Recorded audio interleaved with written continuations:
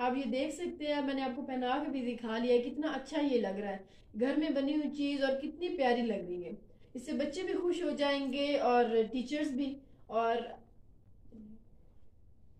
वालेकुम फ्रेंड्स, कैसे हैं आप सब? आज मैं आपके लिए एक न्यू वीडियो लाई हूँ, जिसमें मैं आपको दिखाऊँगी ये प्रोजेक्ट जो मैंने अपने बेटे के लिए बनाया था। और उसके स्कूल में एक परेड फ़ंक्शन था, जिसमें उन्होंने घर से कुछ कॉस्ट्यूम बना के जाना था। तो मैंने ये बनाया था डायनासोर मैं आपको दिखा देती हूँ।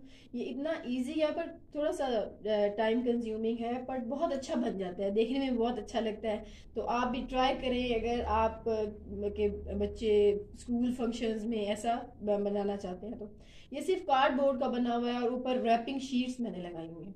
आप देखें, ये टीथ है और ये भी मैंने कार्डबोर्ड की बनाई हुई है। वाइट कार्डबोर्ड है और उसका मैंने ये यूज़ किया है। और ये जो है, ये बाकी जो भी घर में हमारे कार्डबोर्ड होते हैं, वो यूज़ किए हैं और उसके ऊपर मैंने ये शीट्स लगाई हैं। शीट्स आप किसी भी कलर की लगा सकते हैं। जो आपके बच्चों को पसंद हो, जो कलर वो लेना चाहते हो, वो आप लें। और ये टिश्यू रोल के मैंने रोल यूज़ किए हुए हैं और इसकी मैंने आइज़ बनाई हैं। तो आप ये बनाएँ और मुझे बताएँ कि आपको कैसा लगा। फिर मैं अपने बेटे को पहना के भी आपको दिखाऊँगी कि ये पहनने में कैसा लगता है और ये कितना अच्छा है।